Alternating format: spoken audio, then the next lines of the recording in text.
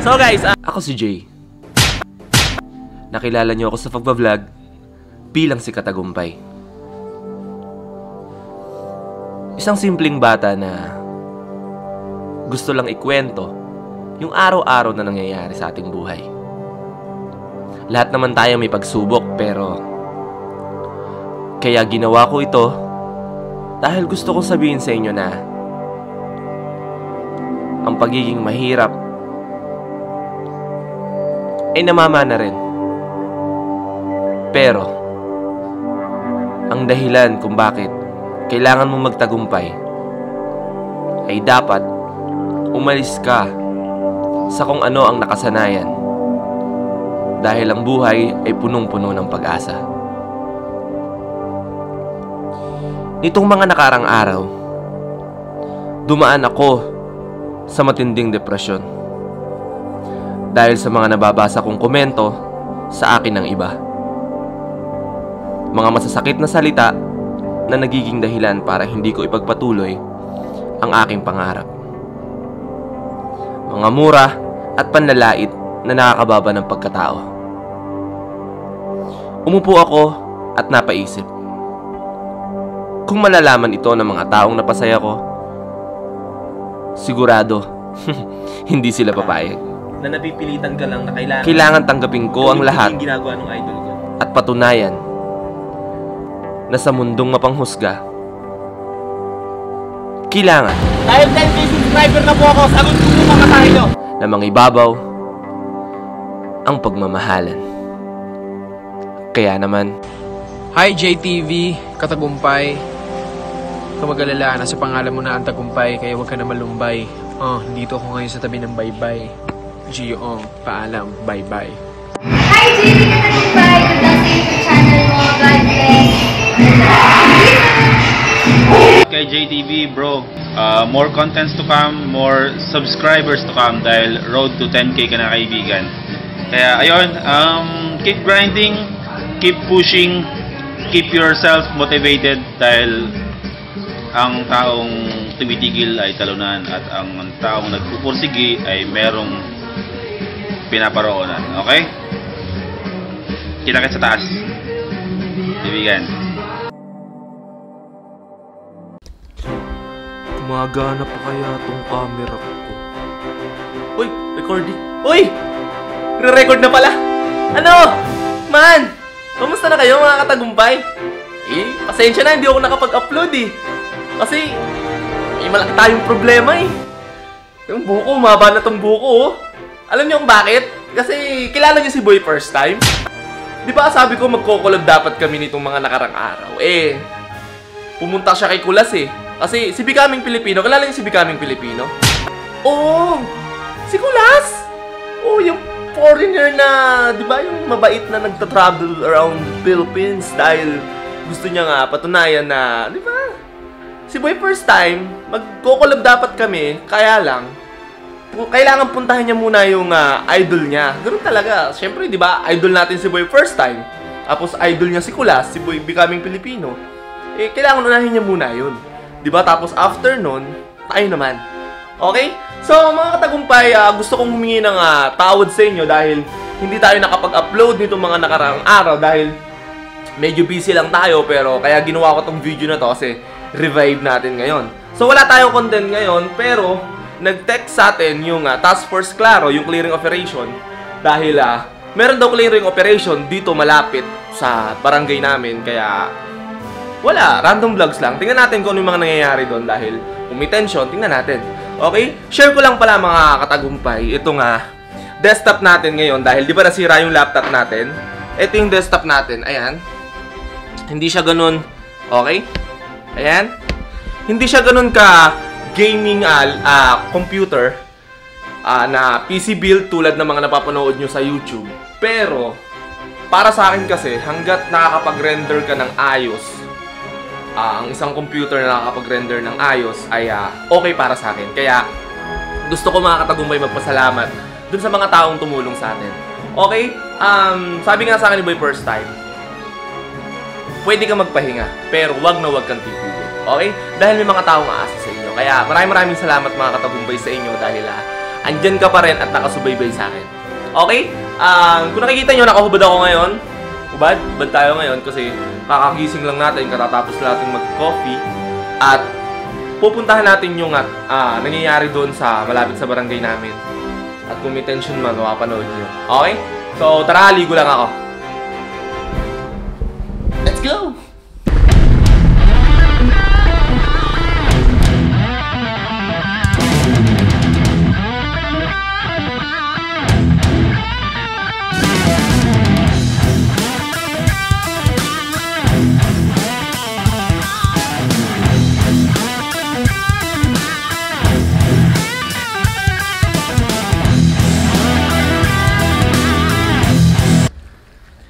So nandito na tayo sa Barangay Baklaran mga katagumpay at iniintay na lang natin yung buong team dito sa likod. Andito tayo sa barangay at may ipapakita ako sa inyo dahil isinumbong sa akin ng isang barangay tanod na itong dalawang bangka na ito ay araw-araw nandito.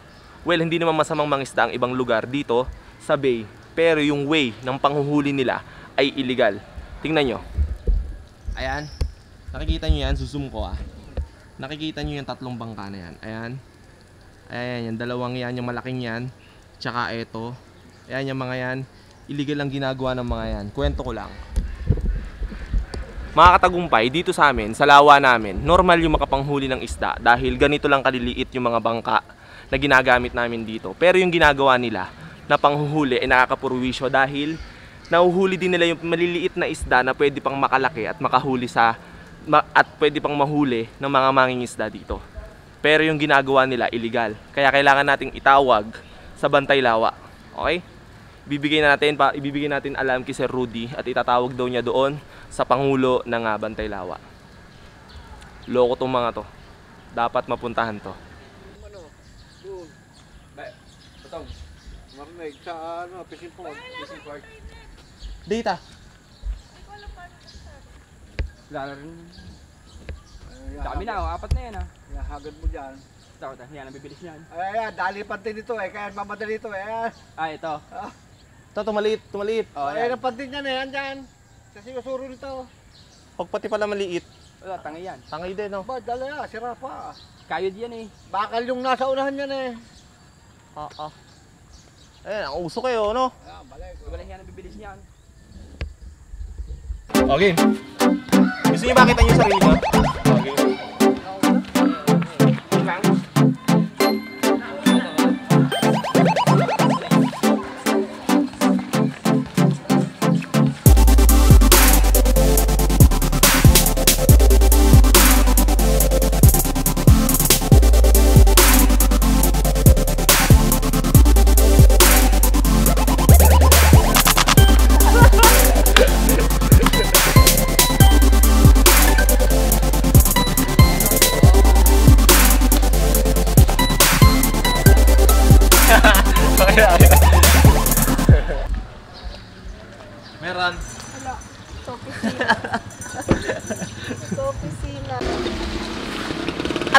Nandito na tayo sa Baklaran mga katagumpay para tunghayan natin yung clearing operation dito. Medyo maulan lang pero andun sila sa likod. Ayan. Tuloy pa rin ang trabaho kaya kailangan tuloy din natin yung trabaho natin para mapakita natin sa buong taga Kabuyaw na lahat ay sumusunod. Okay? Let's go. Peace. Okay, shoutout kayo. Shoutout na. Oh, may mga shoutout tayo mga katagumpay dito. Sir, sige, shoutout na. Shout out sa Oyot! ano, power kayo dyan. Kaya lang. Thank you ah. Thank you Salamat. po. Thank you, Icon. Ingat, okay. So dito mga katagumpay, kung mapapansin nyo, ito yung mark, ah, bawat ah, pader may mark ka na. So ibig sabihin hanggang dito, mula kasi dito hanggang dito dapat 1.5 meters. So tinibag na to. So hanggang dito pataas, titibagin yan. Ayan, inaayos na nila sir. Hanggang dito. Okay? So dito, sumusunod na rin sila. Okay, good job. Sir, good job. Thank you, thank you. Ito, kailangan nilang tibagin. Kasi hindi kayang ilagay dun sa truck. Okay, titibagin nila. Ah, masuhin na lang. Sabay, sabay, sabay. Kapal yan eh, panipis tayo. Hindi, ikaw. Hindi makakalo yan. Oh, Hindi na kayo yan eh. tatlo yun yan. Yan oh. May nakakalam, may nakakalam. Eh, kailangan mo yung ilalim. Oh, yan. Lalo na. Yan. Kulay ka lang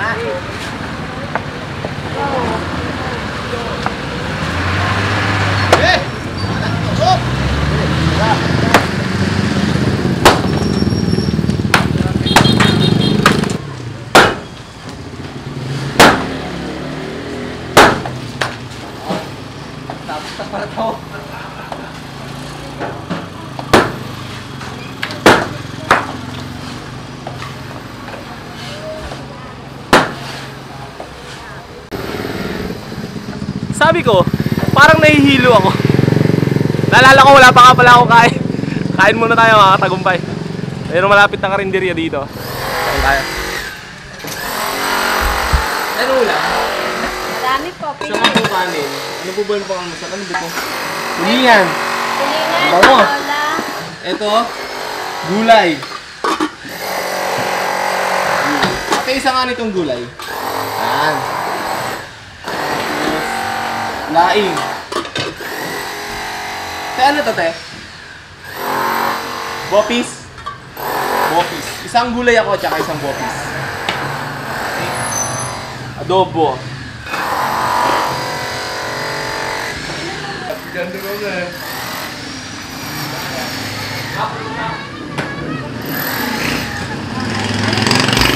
Kain mo.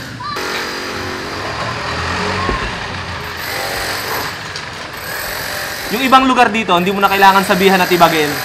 Kasi yung iba, nagkukusa ng tibagin kasi alam, naman, alam naman nila yung rules ni Pangulong Duterte. Okay? Tulad nun, ayun, yung maingay. Okay.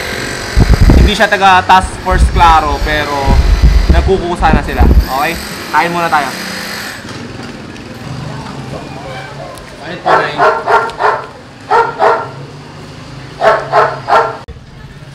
So ayos na, nakakain na tayo kaya meron na tayong lakas. At kung napapansin nyo doon Sa likod ko Ay tuloy na rin yung clearing operation. Medyo umiinit na rin, maganda na rin yung panahon. Kaya tuloy-tuloy lang. Ano yung magtsatsakamera, payat doon. So ito sayang. Halos kagagawa lang. Kung wala magagawa Ganun talaga. Sunod lang tayo sa batas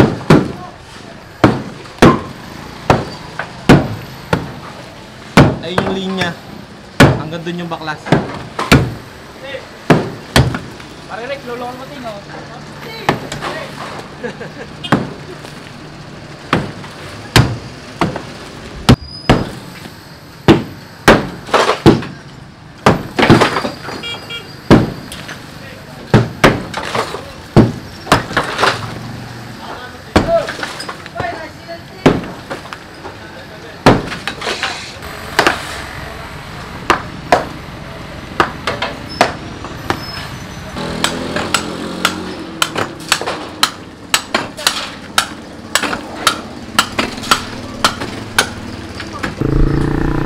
So medyo lumalakas na yung ulan at pauwi na kami ni tatay. Ayan, sinundo niya ako mga katagumpay. At mukhang okay naman yung clearing operation doon. Wala namang ibang tensyon. Dito, ayan, may iba't iba tayong mga madadaanan na ano, kahit wala pa yung ah, clearing operation team, yung task force klaro, ay yung iba ay nagkukusa ng ah, mag ah, giba, tibag nung ah, mga lugar nila. Tapos, ang nakakatuwa pa dito mga katagumpay, yung mga ibang bahay na katabi ng kalsada ay hindi pa natitibag yung tapat nila ay meron ng bagong gawa doon sa likod. Ibig sabihin, ready na sila na kahit tibagin yung nasa harap nila ay gawa na yung nasa likod. Okay? So ganon. Ito makikita nyo, ayan. Okay? Ang ine-explain ko is hindi pa natitibag, gawa na agad yung likod. Ganon kabilis mag-isip ang mga Pinoy ngayon. Okay, ito yan, mga bagong gawa na. Okay. Ito. Okay. Kanya-kanyang tibag na sila. Kaliwat kanan ko dito sa Baklaran, ayan. Puro tibag na. Okay. Yung iba naghahalo na ng simento, mga katagumpay. Okay. Ang gusto ko ipaliwanag dito, mga tol, mga katagumpay, is yung ah, daanan lang ng tao ang dapat tibagin. Pero yung bubong na naka, nakaganto, eh okay lang. Okay, yung ilalim lang ang dapat tinitibag. Okay? Ito, barangay gulod na tayo.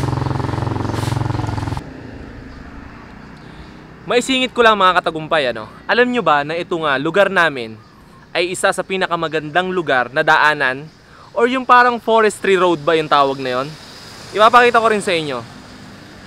Kapag kagaling ako sa trabaho mga katagumpay at sobrang stress ko sa trabaho, kapag dumaan ako dito, pauwi sa amin, ay check na nawawala talaga yung pagod ko dahil maraming puno, nalalanghap ko yung sariwang hangin. Pero, ang isang nakakalungkot na bagay, habang lumalaki ako, lumiliit yung chance sa mga katagumpay na makita ko yung ganda nito hanggang sa makita ng aking mga anak. Mukhang hindi na siya aabutan ng mga anak ko dahil kapag inikot ko tong camera ko mga katagumpay, ito ang makikita nyo. Puro infrastruktura, ayan, puro establishment na. Tapos dito ginagawa na rin, ayan, nakakalungkot mga katagumpay. At dito, ayan, iba't iba na yung mga nakatayo. May mga gasoline station na, meron ng mga tracking, meron ng iba't ibang ah, parang yung ah, lagayan ng mga ah, sasakyan, yung mga brand new na sasakyan. Nakakalungkot lang. Parang ngayon ko napatunayan mga katagumpay, yung kanta na hindi na masama ang umunlad. Basta hindi nakakasira ng kalikasan. Di ba alam yon Yung hindi na masama ang pag-unlad kung hindi nakakasira ng kalikasan. Peace. Hindi naman talaga natatapos ang problema. Dahil pagkatapos ng isang problema, may solusyon. Pagkatapos ng solusyon, meron na namang problema. Tapos ng problema, susolusyonan ulit natin. Yun lang ang magandang bagay mga katagumpay na dapat ay hindi natin tinatanggal sa ating mga sarili. Ang pagkakaroon ng solusyon sa lahat ng problema. Dahil ang problema ay mayroong solusyon. Medyo magulo, pero maraming maraming salamat mga katagumpay sa pagsuporta nyo sa akin. At kung napapansin nyo, yung nasa likod ko ay ang Kabuyaw City Hall at ito ang aking kampo. Maraming maraming salamat. This is your man, JTV again. Kabuyaw represent. Hingang malalim. And peace out. See you next video. I love you all. Hey.